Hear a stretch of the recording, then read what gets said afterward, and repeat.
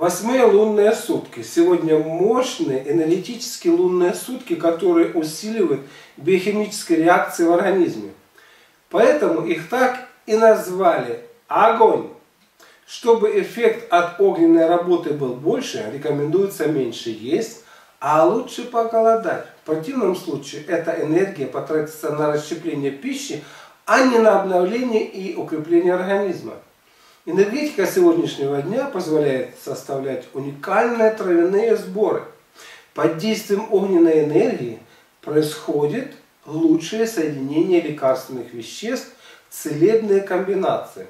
Что касается нравственных рекомендаций, то сегодня хорошо покаяться в содеянных грехах и простить своих обидчиков. Можно очищать помещение пламенем свечи.